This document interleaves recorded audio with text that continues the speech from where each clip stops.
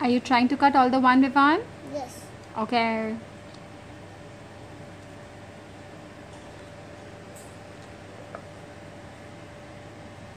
I cut so many ones.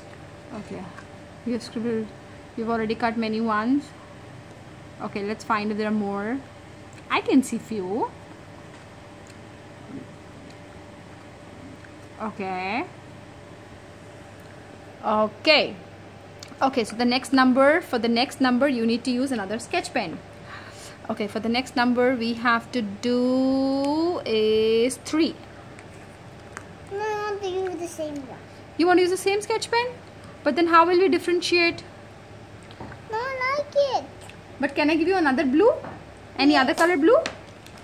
Okay. As you can see, we are all like blue fan. Pink is only for mama here in the house. Okay. So let's do three. My why you putting so many? Okay. You have to just do the number right now.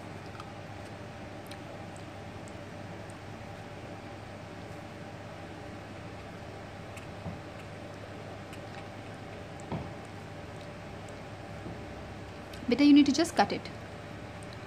Vivaan, you just need to cut it. You don't need to. Vivaan, it's not pre-writing. We need to just cut it, Vivaan. Hmm, hmm,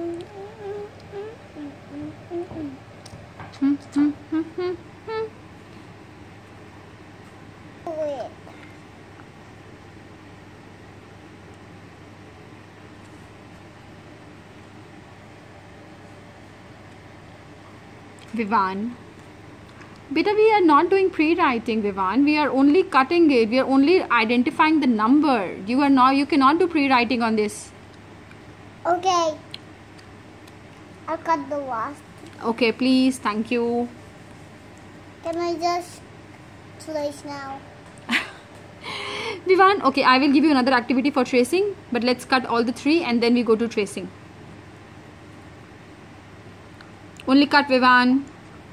Yes. Let's. Okay, I think we will not stop. I think we will like. We are just crazy about tracing, so we are just continuously, continuously tracing. Okay. I circled another three. Okay, I think there are more three. I can see many, many, many of them.